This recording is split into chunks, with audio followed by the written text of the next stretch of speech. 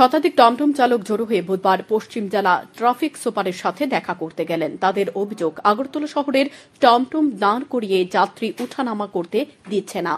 পাশাপাশি স্ট্যান্ডের ভেতরেও চলছে ভারতীয় মজদুর সংঘের নামে ভাঙিয়ে দাদাগিরি। অতিষ্ঠ হয়ে টমটম চালকরা তাদের সংগঠনের নেতা ইমাম হোসেনকে নিয়ে গেলেন ট্রাফিক এসপি মানিক দাসের সাথে দেখা করাতে। তাদের দাবি, শহরে যানজট মুক্তের নামে একাধিক রাস্তা দিয়ে চলাচল করতে দেওয়া হচ্ছে না।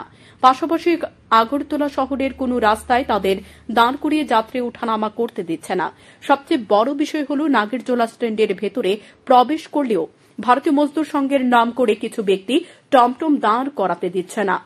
তাই এইভাবে কদিন চলবে জানতে চায় এসপির কাছে এবং এসপিকে বলা হয় যদি তাদের গাড়ি চালাতে না দেওয়া হয়, তাহলে তাদের কাছ থেকে টমটমের চাবি রেখে বিকল্প কর্মসংস্থানের ব্যবস্থা করে দেওয়ার জন্য। না হলে এভাবে তারা শহরে গাড়ি চালাতে পারছে না। পরিবার পরিচালনা করতে সমস্যায় পড়ছে তারা, বলে জানান সংগঠনের নেতা ইমাম হোসেন। একটা সাজেশন আমরা চামু।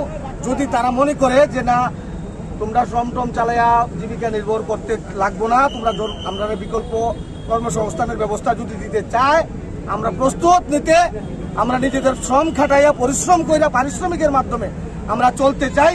কিন্তু যদি বিকল্প কর্মসংস্থানের ব্যবস্থা করে আমরা করব, আর না হইলে যদি যে না টমটম তোমাদেরকে চালাইতে আমরা দিতাম না, তাহলে আমরা এক কাজ করুম, প্রত্যেকটা চাবি সবার তরফ থেকে আমরা চাবিটা এসপি স্যারের কাছে দিব দিয়ে আমরা যাইমুগা। যদি মনে করেন এসপি স্যার মনে করে যে না, চাবিগুলাকে রাখা দিব, গাড়িগুলাকে আমরা এসপি স্যারের কাছে জিম্মা দিয়া আমরা আমাদের মতো চলে যাব আজকা।